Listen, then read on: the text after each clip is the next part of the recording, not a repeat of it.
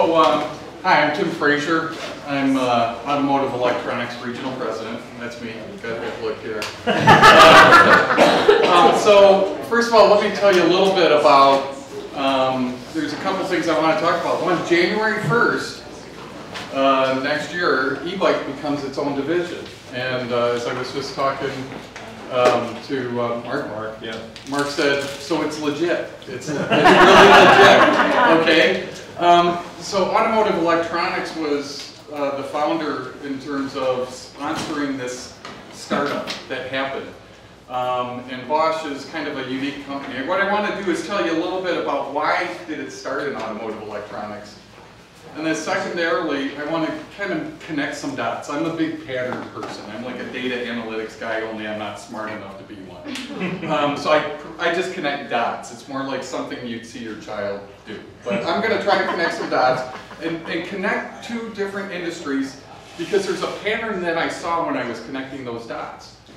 The one pattern was, um, I've seen this before, and then I started relating it to the pattern of what happened in automotive and uh, Bosch's history in that.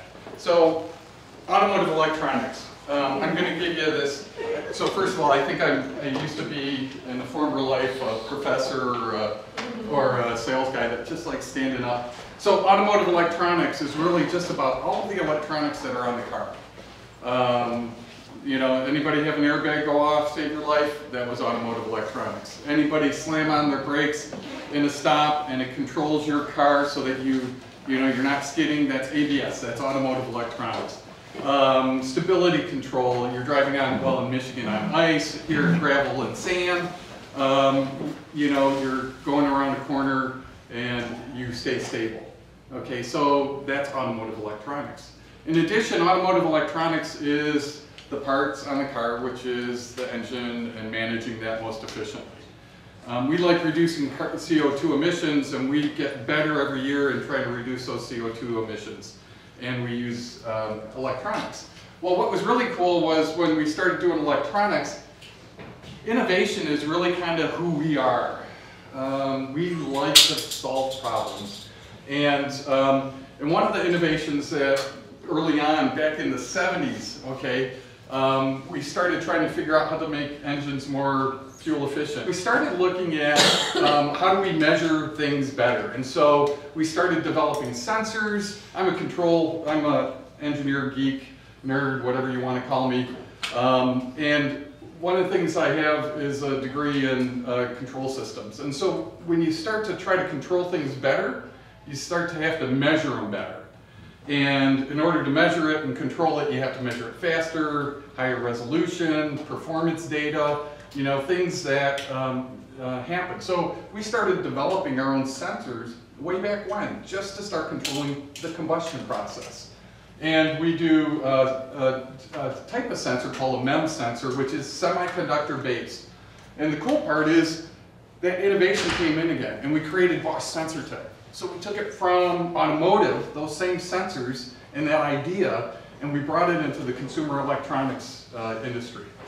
Um, from there, uh, well, I mean, hey, everybody's connected, right? So we actually started using some of that same sensing technology and putting it into connected cars. So like you have a small USB, or not, uh, USB charger port, you know, like you plug into your, I used to call it a cigarette lighter or cigar lighter, but that power point, right? In that little device, you can measure the, uh, a crash. It's the same sensing technology that is able to detect um, the need for a, an airbag. So we started connecting it, putting it in, you know, so you can carry it with you, bring it into your car. There's a Bosch app. You get in an accident in a rental car, you know, the top three people on your list get called. So that's also automotive electronics. The other part that's automotive electronics, um, we're starting to look at how do we make how you interface to things simple. Um, the first thing I did when I went for a ride today was I said, where's my phone mount? I got my ride already, I just want the phone mount. Okay, the thing that most people use is a smartphone as their main interface to the world, the analog world we live in. And we're working on systems that you'll start seeing in cars um, and just you know standard vehicles that start using phone as a key. And it's not just a phone app. It recognizes that it's you. It can tell by you and the way you walk that it's you and not somebody else. Okay? So we're doing some really cool stuff, but I'm telling you, not as much as the smiles as when we're rocking it on okay? We have fun, but we're nerds and we're not having that much fun because we don't smile a lot. So, so really what we start looking at is um, this pattern that I was talking about. This is Bosch. This was 1906. We were in Springfield, Massachusetts, and we were the Bosch Magneto Company. So start thinking about that innovation. Our founder, you know, Robert Bosch, he took that spark. He actually created something that was called a magneto. And that helped get the combustion engine working, which eventually replaced the horses and the carriages. Okay? So 1906, he was one of those pioneers. Guess who he was working with? Henry Ford, Thomas Edison. I mean, like, these guys were the pioneers. You know, it's like the Gary Fishers of the, your e-bike world. you know, it's really unique. In this ecosystem that happened, there were there were four major things that happened that make that made this so unique. One, there was a tech ecosystem. Those pioneers, they were trying to figure out how do I make them all the same? How do I make more of them? Because it used to be a craftsman thing where it was just each one was unique. No, man, we got to make a lot of them, and we got to make them affordable. Okay, that was Henry Ford. Thomas Edison was working on light filaments, you know, electricity, okay, for the car, so you could drive at night. That tech ecosystem, and Bosch, you know, Robert Bosch, he was figuring out how to make it spark, okay? Control the spark. Um, tech ecosystem, the other thing was infrastructure. Um, the, the width of a road is based on the wheel track, okay? those road dimensions were created around horses. So now you started to have to deal with infrastructure. Oh, wait a minute, regulation. What, how do you have a, they didn't have stoplights, okay?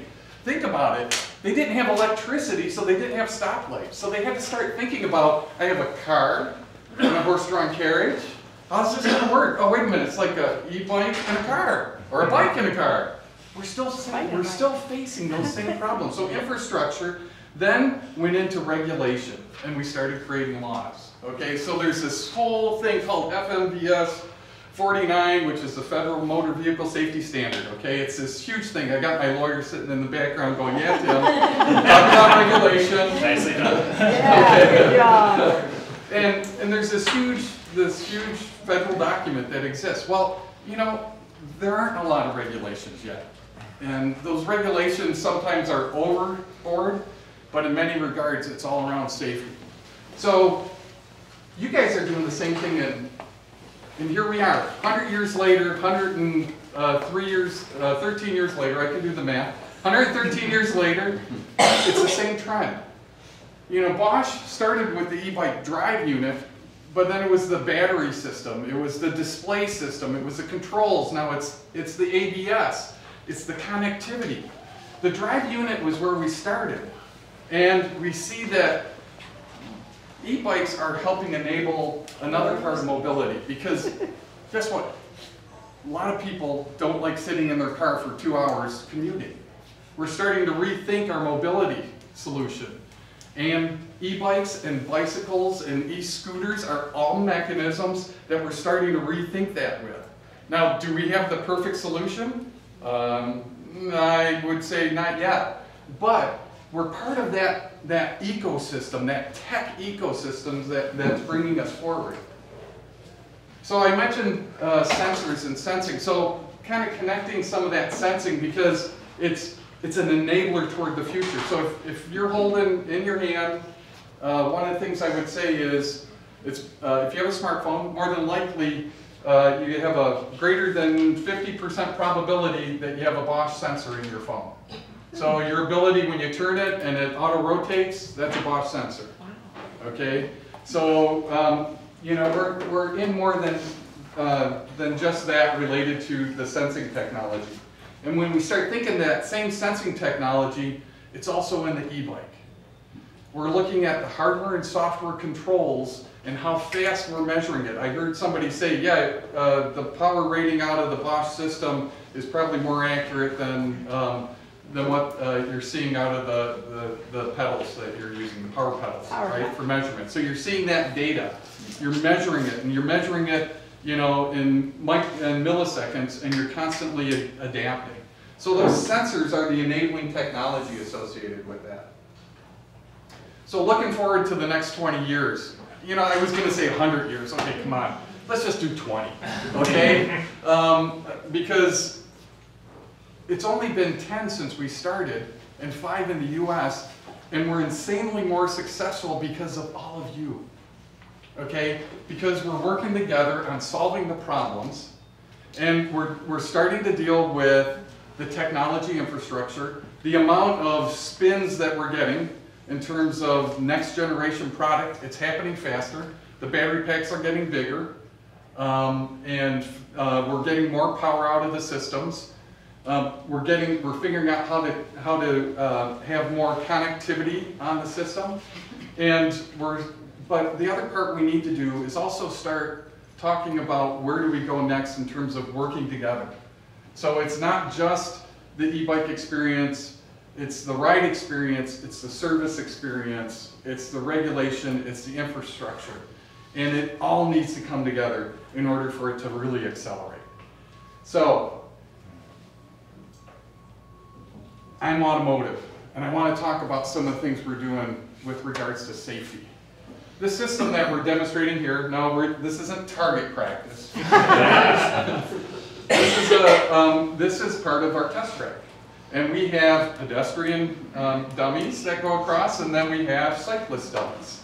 And we have a system that's called automatic emergency braking. And so it's utilizing video and radar systems in order to provide an interrupt to the driver to force an interaction to protect the cyclist or the pedestrian or the vulnerable road user, you know, whoever that is that's on a scooter or something. So we're working on that. In addition to that, we're already starting to look at other ways to do it. And this is the connectivity piece. We're working with industry leaders now, different companies, both automotive and cycling entities. Um, I saw somebody from SRAM, SRAM's part of that team, I, Trek's part of it. We have Ford and GM and Audi and, you know, um, Honda. We have companies coming across and crossing the chasm, okay? That chasm of, oh, no, you're, you're a cyclist. No, we're, we're people, okay? And the idea of actually hitting somebody and hurting them while you're driving your car, that's devastating. So we look at that and we say, we have to do something about it. And that's also where we're working on those next generation systems that start measuring the intention of the cyclist. So you know a pattern of they've been riding and pedaling, they're currently cycling they're in a cadence, they're accelerating at this rate, um, and, and here's their last GPS trajectory. Well, you're coming around a blind corner and that car can't see them. Imagine the ability of a personal safety message that's communicating and pinging and saying, I'm coming around the corner, here's my trajectory, I'm coming around the corner. Foggy night, icy night, snowy night, coming around the corner, the car interacts with that, that personal safety message and gives a, an attention. And it might just be a small brake jerk, but it's that ability, that, that, that ability to recognize, pay attention, your, your eyes should be on the road. And it's in that instant that we save somebody. And that's, that's what Bosch is about. Bosch is about making sure it's invented for life. So I'm really excited about this. And I know that together, working around those four elements, around that technology ecosystem, whether it's enhancing our rides, whether it's making it more comfortable, whether it's providing more communication and data and safety or higher performance characteristics on each cyclist, um, the uh, infrastructure, making sure that we're engaging, you know, we had the mayor here earlier. We started talking to him about some things around how, you know, bike lane garbage, okay? You know, clean the street every once in a while. It's simple things, okay? How do you engage in your government? You can't be passive in this. You have to engage, okay? and um, regulation and infrastructure. Um, we have uh, people for bike. We have I, um, you know, having the trail access. These are all elements. It's like a, it's like making a cake, right? You know, you're you're putting the ingredients in, and if you don't put the baking powder in, it's not going to rise. Okay? We have to work together. It's all of those four elements, um, and I'm really looking forward to it. Um, I just want to show another picture. Okay, this was our founder. Okay, he was riding a bike back when everybody else was riding a horse. Okay, I know he looks like a hipster. Okay. he was ahead of his time. The streets of Detroit.